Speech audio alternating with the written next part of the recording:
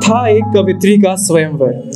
था एक कवित्री का स्वयंवर। आए थे उसमें एक से बढ़कर एक धुरंधर। नहीं थी कोई बंदिशें क्योंकि ये था कवित्री का स्वयंवर। आप तो जानते ही हैं, रचनाकारों की नहीं होती कोई सीमाएँ। आप तो जानते ही हैं, रचनाकारों की नहीं होती कोई सीमाएँ। उनके लिए तो सब कुछ होती है उनकी रचनाएँ। उस स्वयंवर में आए थे वेदों के विद्वान। उस स्वयंवर में आए थे वेदों के विद्वान और आए थे कुछ वीर महान।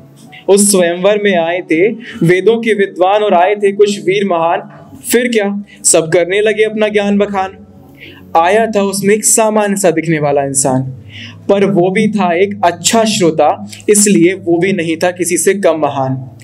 कवित्री ने कहा, आप क्यों बैठे हैं इतना चुप? सुनाएँगे नहीं अपना कुछ? कवित्री ने कहा, आप क्यों बैठे हैं इतना चुप? सुनाएँगे नहीं अपना कुछ? तब वह श्रोता बोला, मैं हूँ एक अच्छा श्रोता। सुन रहा था ध्यान से सब, बोलने के लिए नहीं ज़्यादा कुछ। पहले प्रेमी हूँ आपकी रचनाओं का, आपकी कविताओं का, उसके बाद इन रचनाओं की बिन ब्याही माँ का।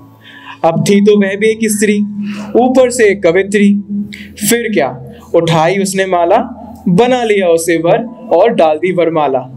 कहा, यूँ तो मिल जाते हैं एक से बढ़कर एक सुनाने वाले। कहा, यूँ तो मिल जाते हैं एक से बढ़कर एक सुनाने वाले। बहुत ही कम मिलते हैं ध्यान से सुनने वाले। Thank you so much guys